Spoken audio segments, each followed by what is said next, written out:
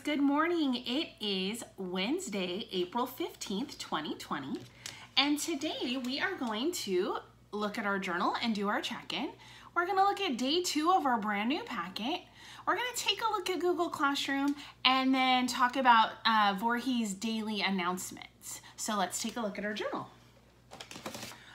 All right, yesterday I finished my day by saying, today I started reading a new chapter book. I also made tacos. I did make tacos, they were really good. And I started a new chapter book. It is about the evil queen in Snow White. So I'm learning about like, why is she the way she is? We'll see what happens.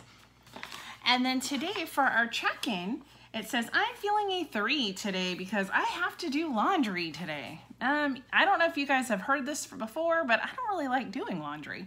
Like, I don't mind putting it in the washer and the dryer, but then when it comes time to folding it all, I hate folding laundry, but it has to be done. So I'm going to do it and that's okay. All right, journal and check-in, check. Next, we're gonna look at day two of our packet. So I have it right here. So I'm just, oh, this packet's so heavy because it's so big this time, but that's all right. Um, here we are. I'm looking at day two. For reading, it says read for 15 minutes, use a book of your own or a foldable book from the end of this packet. And we do have our little foldable books that we made yesterday. If you missed that, go back, take a look at how to make your foldable books from the back of this packet. And then it says, read the first two diary entries aloud together, alternating paragraphs. I skipped a part. A dinosaur named Sue, that's the name of the, the reading. So we're gonna read those and then discuss the tone of the journal. Point out the phrases, what a day, and we couldn't believe our eyes. Hmm, one thing I notice is that they have exclamation marks, so maybe we should look for that. All right, let's take a look at the reading. All right. So here it is, A Dinosaur Named Sue. And it says, A Journal About My Summer Dig by Terry Patterson and it starts on August 11th, 1990. Oh, I was alive during that time, 1990. Okay, cool. Tomorrow is the last day of the dig. I can't believe I've been in South Dakota for 10 weeks. It's been a long, hot, but great summer. We dug up many dinosaur bones. Some are more than 60 million years old. I have a lot to tell everyone back at school. August 12th, 1990, so it's the next day. What a day. Our truck had a low tire. Pete Larson and I went into town to get it fixed. Sue Hendrickson stayed behind. She wanted to look for bones in one more place before we go home. Sue was so excited when she came back to camp. She found some huge bones sticking out of a cliff. They were too big to be anything but a dinosaur. Sue knew they were from a meat eater. In this part of the world, it could only be a T-Rex. And if you want to stop and look at these pictures, definitely do that. This is kind of long, but we are going to read it. Sue brought back two pieces of bone to show Pete. He agreed that they were T-Rex bones. We left right away to see where they came from. When we got there, we couldn't believe our eyes. The ground below the cliff was covered with pieces of bone. More than 10 bones stuck out of the cliff. Pete thought that a whole skeleton might be buried there. He named the dinosaur Sue after the person who found it. We only have one problem right now. The bones are under almost 30 feet of dirt and rock. It's going to take a lot of hard work to remove it. Pete, Sue, and I have a big job ahead of us. I guess we're not going home yet. August 14th, 1990. So the last journal entry was the 12th, so two days later. Early this morning, we got started digging up the T-Rex. We couldn't use a big machine to move the rock and dirt. A machine might break or crush the fossils. So we did all the work by hand. Metal bars helped us pull away large rocks. We used picks to break up smaller rocks and shovels to move dirt. The sun beat down on us all day, but we hardly noticed. We kept thinking about the T-Rex. We wondered how much of its skeleton we would find. We hoped it would be in good shape. And then these pictures here, this one says, Sue found these bones sticking out of a cliff. And this one says, Sue used tools to carefully remove the rocks and dirt from the fossils. So that's pretty cool. August 18th, 1990, so four days later. Our hard work over the past few days finally paid off. Today we got down to the fossils. We had been even more careful. We used small hand tools to remove the dirt and rock around the bones. August 21st, 1990, so 18, 19, 20, 21, three days later. While we worked, Pete told us about the other T-Rex fossils that people have found. Some finds were just a few bones. No known T-Rexes have even half their bones, but it looks as though Sue found almost a whole skeleton. This is an important discovery. It will help scientists learn so much about T-Rex. The skeleton will also make an amazing museum display. And this picture here says, digging out bones is a hard and dirty job. August 23rd, 1990. Pete dug out the skull today. It's almost five feet long. That's really big. Like I'm like over five feet tall. So imagine a head being like as big as me. Okay, let me go back. Sorry, that was like kind of crazy for me to think about. Pete dug out the skull today. It's almost five feet long. He thinks that this T-Rex was a giant. Its bones are bigger than any T-Rex he has seen. These bones are in great shape too. Most fossil bones are chipped, broken, or crushed. We took pictures as we worked. It's important to record the positions of the bones. That information will help scientists who study these fossils later. We also found a fossil of plants and other dinosaurs. These finds will help us learn more about life long ago. And this picture here says, Pete removed rocks and dirt from Sue's skull. Remember, the dinosaur's name is Sue.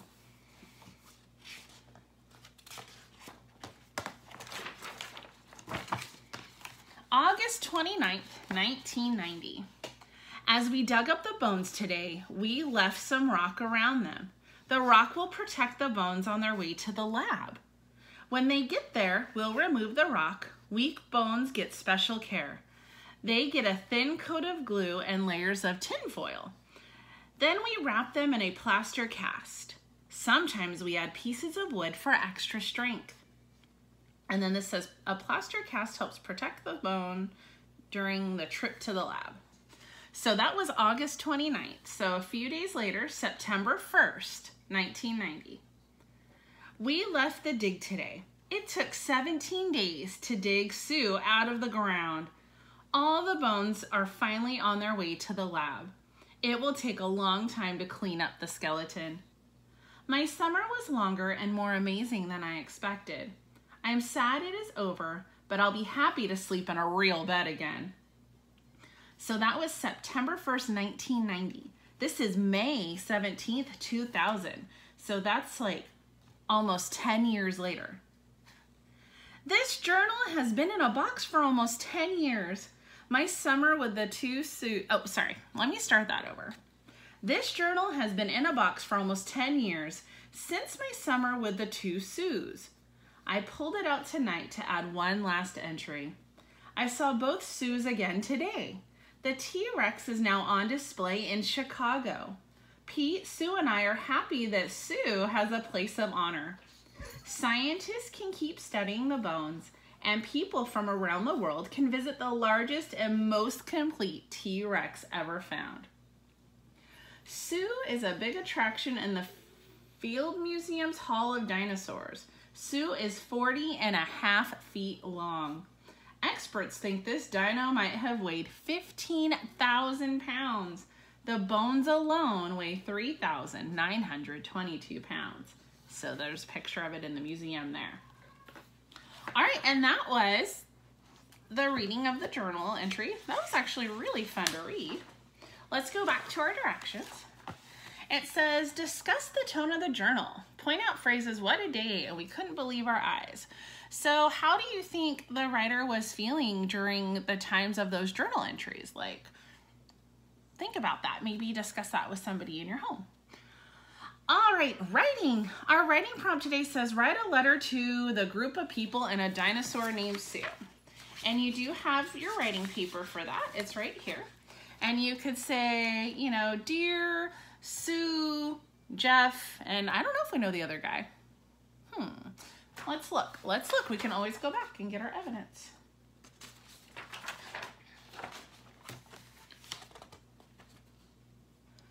Let's see. There's Pete, Sue, and I, but what's your name? Huh, not sure. So, we don't know all their names. We could say, dear friends, dear scientists, whatever works for you, and you're writing a letter to them.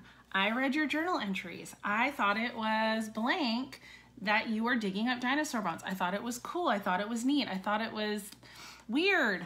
Um, whatever you think, write it right there. Write a letter to them. What would you want to tell these people who spent the summer looking up dinosaur bones? And then we have more past tense irregular verbs.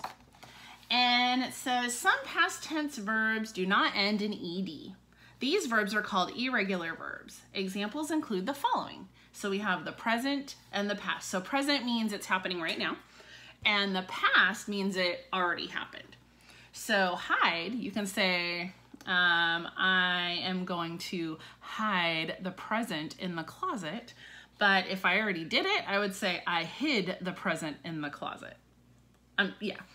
And then throw and threw, like I'm going to throw a ball. But if we already did it, we threw a ball. Uh, dig and dug, grow and grew, and then see and saw. Choose the correct past tense verb from the box to complete each sentence. Write the verb on the line. So we have hid, throw, grew, dig, grow, hide, dug, and threw. My puppy blank big this year. Hmm. Yesterday I blank a ball to him. He blank a hole under a bush. He blank the ball in the hole. And then this part says rewrite each sentence using the past tense of the underlined verb. So instead of saying we dig in the sand, it says using the underlined verb, but it's not underlined, so I'll underline it for you. Okay, we dig in the sand. So if it's happening right now, you dig. But if you did it yesterday, what would you write? We blank in the sand. I see the show. So if you see it right now, present. But what happens if it was yesterday? I blank the show. All right, now let's take a look at math. For math today, we have, um, ooh, it says start with day two math task, bundling and unbundling. Continue with day two math activities. End with day two math fluency, where students where student is encouraged to solve a problem using multiple strategies. All right, so first we have our math task, bundling and unbundling. It says make true equations. Write one number in every space. Draw a picture if it helps. All right, I'm gonna start this with you so um, you'll kind of know what it looks like and then you can finish the rest. So 100 plus 4 tenths. Well, I'm going to draw that out. I'm gonna use my board here. So it says 100 plus 4 tens. So if I have 100 and then 4 tens, 100 plus 10, 20, 30, 40 equals 140. So I know it's kind of sloppy, but I'll write it neater on my paper. So if I have 100 and then one, two, three, four. So there we go. And we know that 100 plus 40 equals 140. So I'm gonna write that answer here. So there we go. The next one says four tens and 100. So what happens if I draw that out? One, two, three. Sounds very similar. So that's 40 plus 100. Oh, I see what happened. 40 plus 100. It's the same thing. 140. Okay. And then B, it's kind of backwards. It says 14 tens equals 10 tens plus blank tens. So 10 tens plus this many tens equal 14 tens. And if you want to draw it out, feel free to do that. Um, and then this says 14 tens equals blank 100 plus 4 tens. So you're going to put 10 of those tens together to make a 100. Let's go ahead and do that one together because that one sounds a little trickier. So 14 tens equals 10 tens. So I'm to go 1, 2, 3, 4, 5, 6, 7, 8, 9, 10. My 10s are looking really fat, but they're 10. Sorry about that. So 1, 2, 3, 4, 5, 6, 7, 8, 9, 10, which is really 100, but that's okay. So 10 tens plus blank tens. So, hmm, 10, oh, I can count up. 11, 12, 13, 14. So I need four more tens.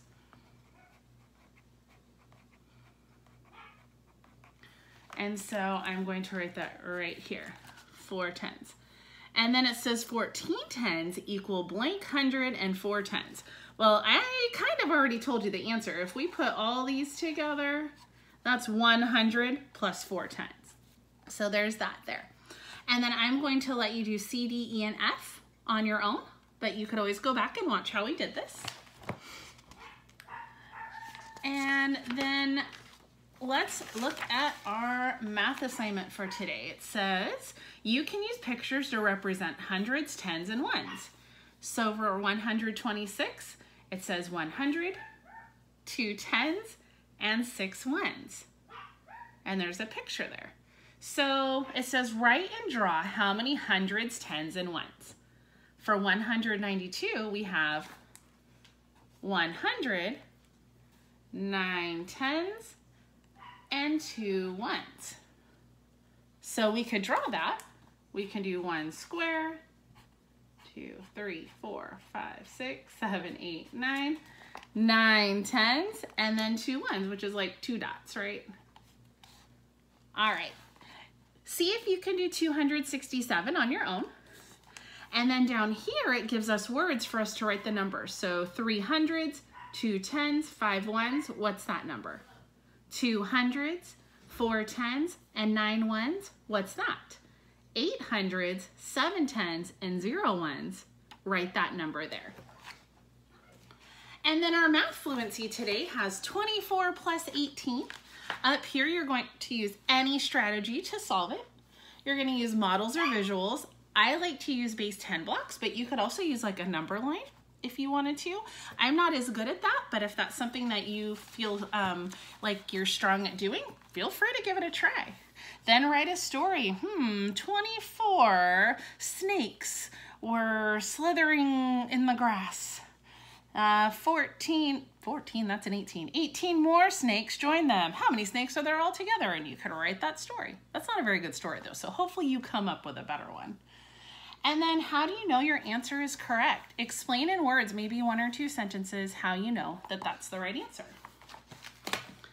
All right, last is to go over the next step of our art. And yesterday we practiced drawing lines. It was really quick, but I guess it's part of the process of learning. And I'm looking for it in our packet right now. Where are you, art project? There we are. All right, and I went ahead and carefully tore out my practice lines paper. So here it is here. We practiced a straight line, a zigzag, a wavy, a curly, and then I made this crazy line. Day two direction says, designing your art. Use different types of lines to create an abstract design. And I kind of see down here what like the end product is. So, hmm, I don't want to copy this. I want my own thing. So let's see. I have my lines here. I'm gonna turn my paper over and I'm gonna go ahead and do it a landscape way, like this. And then I'm going to make my lines. My favorite lines are the wavy ones and the zigzag ones. So I'm gonna start with Oh, I really want my black pen. Hold on. Boom. So I'm gonna do zigzag lines. So there we go. I am going to do wavy lines. I'm gonna do more wavy lines. I think I'm gonna do one more wavy line. They're my favorite. So it looks like this so far. And I think I'm gonna put one more zigzag line right here.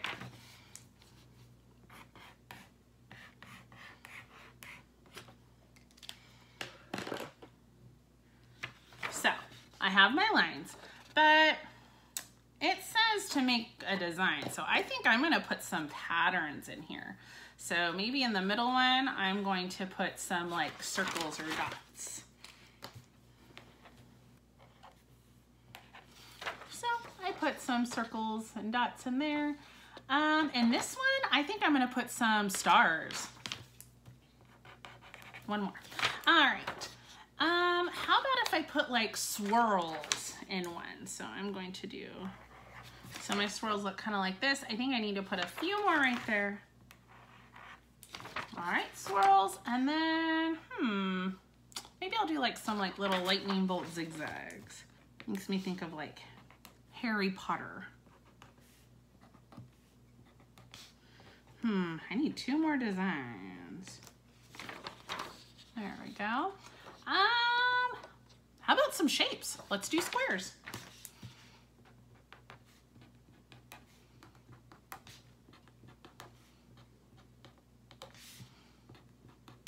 Ooh, you could also do stripes or hearts or flowers or anything you really want. You guys are really creative, so I think you're going to do a really good job with this. So there's that, and I have one more. What should I put on there? Hmm, how about happy faces?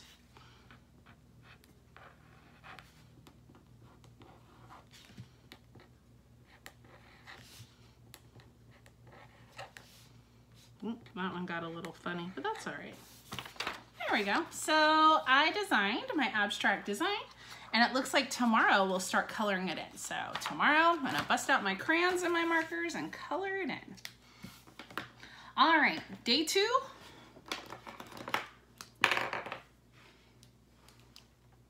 Check. All right, Google Classroom. I did not add anything new into Google Classroom today because there are lots of things for you to look at and to complete. And I know some of you guys are behind on that, so I wanna give you a chance to take a look at that. You can look at Google Classroom from a computer, a Chromebook, your phone, a tablet. There is an app for Google Classroom, so definitely get that if you haven't yet. And then if you have any questions for me, you can contact me either through Class Dojo or your parents can email me. My email address is right here. So there you go, you can email me. And if you forgot how to log into Google Classroom, look at a couple of the videos from last week and it will tell you what to do and how to do that. So Google Classroom, check. The last thing I need to talk to you guys about are the Voorhees daily announcements. Mr. Casallas posts daily announcements every day for um, Voorhees students. And it's really good to watch that because he knows things that are going on in the school. I know things that go on for second grade learning, but Mr. Casallas, he has the school information. So you definitely want to watch that every day. And um, I'll put the link for today's like in our description for today. And you should subscribe to his Gritty Principal channel. That way you can see announcements every single day about what's happening. All right, guys, that's it for today. I hope you have a great day and a great week and stay gritty.